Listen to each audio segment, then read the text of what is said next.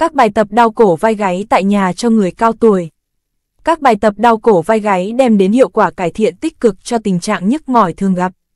Tuy nhiên, để đảm bảo đạt được kết quả như mong muốn, hạn chế tối đa rủi ro, người bệnh cần tham khảo ý kiến bác sĩ hoặc chuyên gia để có hướng dẫn phù hợp nhất.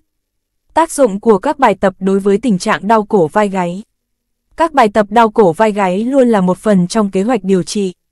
Đó là sự kết hợp của các động tác kéo giãn, tăng cường sức mạnh, sức bền và liên quan đến điểm kích hoạt.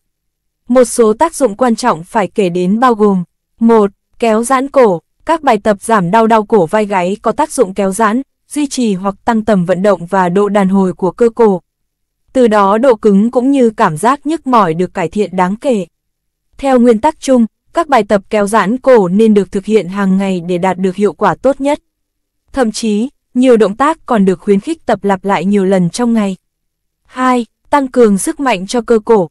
Các bài tập trị đau cổ vai gáy giúp tăng cường sức mạnh cho cơ cổ, từ đó cải thiện hiệu quả tình trạng nhức mỏi và hạn chế tối đa hiện tượng tái phát. Theo nguyên tắc chung, những động tác này nên được thực hiện cách ngày để cơ có thời gian tự hồi phục. 3. Thúc đẩy lưu thông máu. Các bài tập trị nhức mỏi cổ vai gáy, đặc biệt là sức bền có tác dụng tăng cường lưu lượng máu đến cơ và mô mềm trên cổ cũng như vùng lưng trên. Từ đó, cổ được thư giãn, thả lỏng đồng thời cải thiện được tầm vận động. Ngoài ra, sau khoảng 30 phút tập luyện, một hoạt chất tự nhiên trong cơ thể là endorphin sẽ được giải phóng. Chất này đem đến hiệu quả cải thiện tích cực đối với hiện tượng nhức mỏi thường gặp.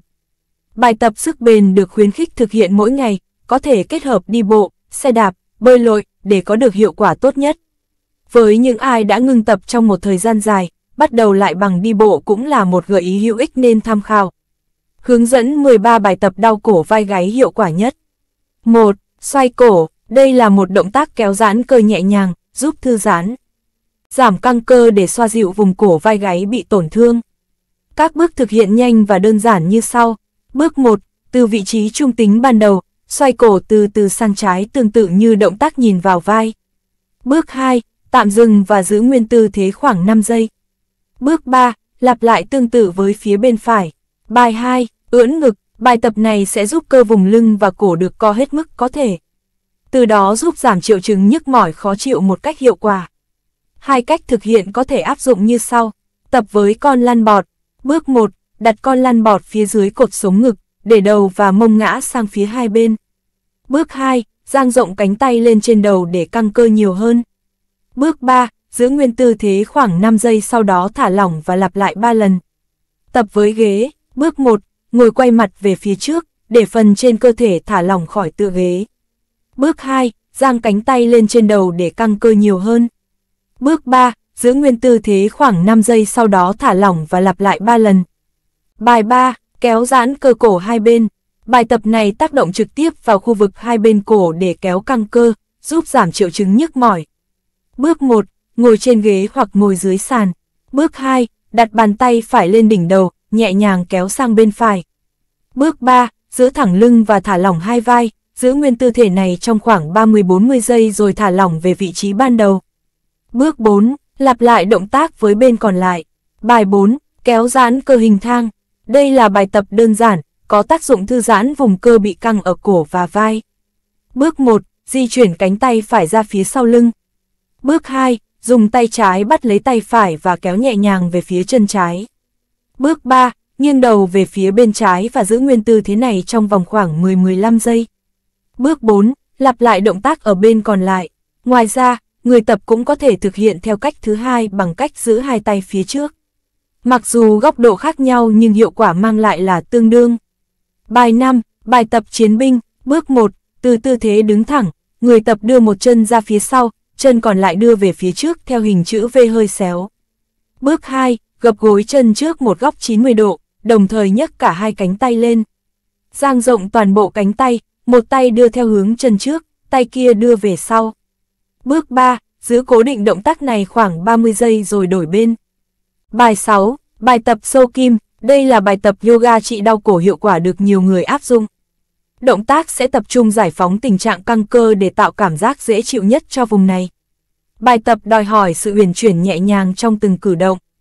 Bước 1, đặt tay và đầu gối trong tư thế cái bàn, tê bổ bâu, luồn tay phải qua giữa tay trái và đầu gối trái.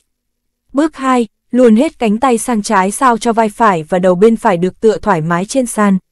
Bước 3, hít vào và vươn tay trái hướng lên trần nhà. Bước 4, hít thở và giữ nguyên tư thế trong vòng 36 nhịp thở. Bước 5, đưa lòng bàn tay trở lại trên mặt sàn và từ từ hít và đồng thời đưa cơ thể trở lại tư thế cái bàn. Bước 6, lặp lại các động tác tương tự ở phía bên kia. Bài 7, bài tập nghiêng bên, bài tập nghiêng bên sẽ giúp làm giảm căng thẳng cho vùng cổ, lưng và tăng cường sức mạnh cơ bắp. Bước 1, đứng thẳng với tư hai tay chắp trên đầu. Bước 2, giữ cổ và đầu thẳng.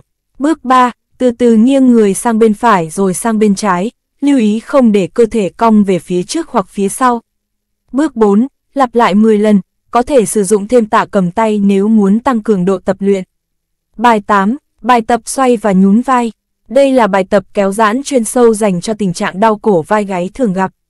Việc duy trì thực hiện đều đặn sẽ đem lại hiệu quả cải thiện tích cực, giúp giảm căng cơ cổ, làm dịu triệu chứng đau đầu do chèn ép dây thần kinh và căng cơ.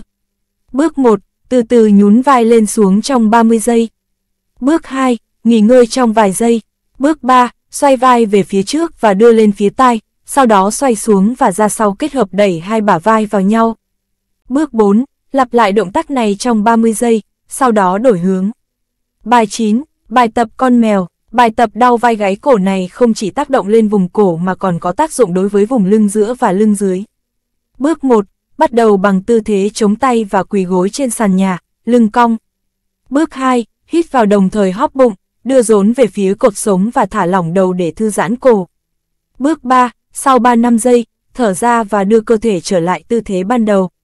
Bước 4, ngước mặt lên trần nhà, để lưng cong xuống sàn và giữ cố định tư thế này khoảng 3 năm giây.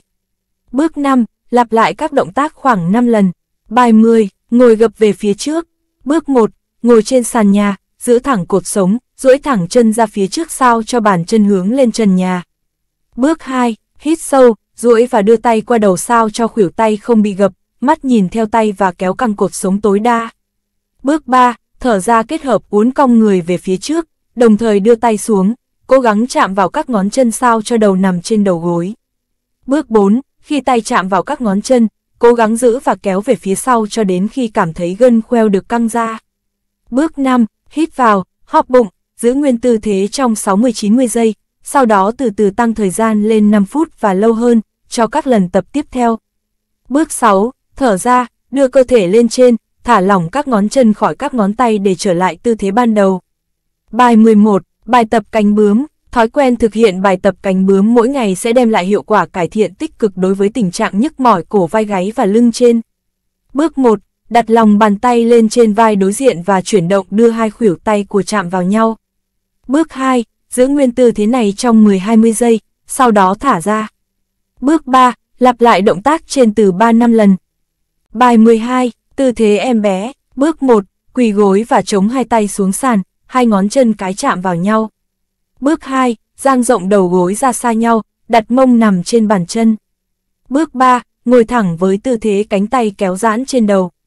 Bước 4, thở ra, cố định phần thắt lưng, thả phần trên cơ thể về phía trước hai chân. Bước 5, để chán chạm sàn, hai vai giang rộng, đẩy mông về phía sau và giữ nguyên tư thế này ít nhất 15 giây. Bài 13, dựa lưng vào tường, đây là dạng bài tập, giúp tăng cường sức mạnh cho cơ lưng, vai, cổ, từ đó các triệu chứng nhức mỏi được cải thiện đáng kể. Bước 1, đứng thẳng ở tư thế dựa lưng vào tường, có thể bước chân hơi chếch ra ngoài để cố định. Bước 2, dang rộng cánh tay để tạo hình chữ T, sau đó gấp khuỷu tay thành góc 90 độ. Bước 3, từ từ di chuyển cánh tay lên và xuống. Nhưng đảm bảo luôn tựa thẳng vào tường. Bước 4, khi các ngón tay chạm trên đầu, người tập thực hiện lặp lại các thao tác. Phần 3, Lưu ý khi thực hiện các bài tập giảm đau cổ vai gáy. Các bài tập đau cổ vai gáy đem đến hiệu quả cải thiện tích cực cho tình trạng nhức mỏi thường gặp.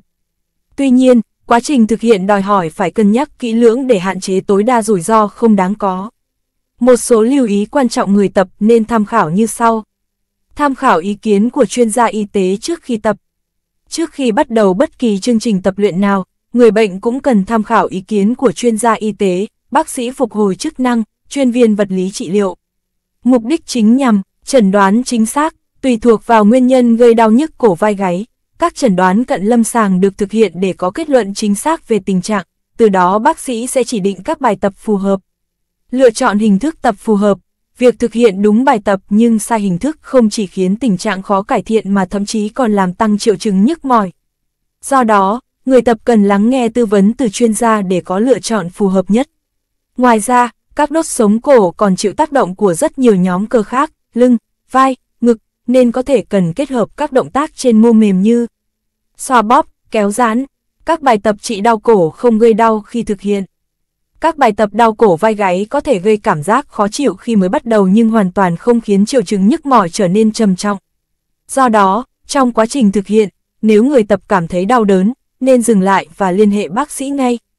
Kiểm soát cơn đau trước khi tập, để quá trình tập luyện diễn ra thuận lợi và hiệu quả. Cơn đau cần được kiểm soát để làm giảm bớt triệu chứng nhức mỏi dữ dội. Thông thường, bác sĩ sẽ chỉ định một số phương pháp sau. Dùng các loại thuốc kháng viêm, giảm đau như thuốc kháng viêm không steroid, chẳng hạn như ibuprofen, meloxicam, celecoxib hoặc thuốc kháng viêm steroid. Tùy tình trạng mà bác sĩ sẽ chỉ định thuốc phù hợp. Chấm, các phương pháp thay thế, xoa bóp, châm cứu. Khi cơn đau đã được kiểm soát về mức ổn định, các chuyển động ở cổ cũng được cải thiện, các bài tập vật lý trị liệu hoàn toàn có thể bắt đầu. Quá trình này sẽ giúp tăng cường sức mạnh cho cổ, giảm đau và trở nên linh hoạt hơn. Thời điểm cần liên hệ bác sĩ ngay lập tức. Trong một số trường hợp, đau cổ là triệu chứng của một tình trạng bệnh lý nghiêm trọng như viêm màng não. Ung thư, lúc này, các bài tập hoàn toàn không mang lại hiệu quả, ngược lại còn có thể gây cản trở cho quá trình điều trị đau cổ. Vì vậy, khi xuất hiện các dấu hiệu bất thường sau, người bệnh nên liên hệ ngay với bác sĩ để được can thiệp y tế kịp thời. Đau sau khi va chạm, ngã, tai nạn, đau dữ dội, kéo dài dai dẳng không có dấu hiệu thuyên giảm. Triệu chứng nhức mỏi lan dần ra cánh tay kèm cảm giác tê bì. Châm trích, đau cổ kèm sốt, ớn lạnh, buồn nôn.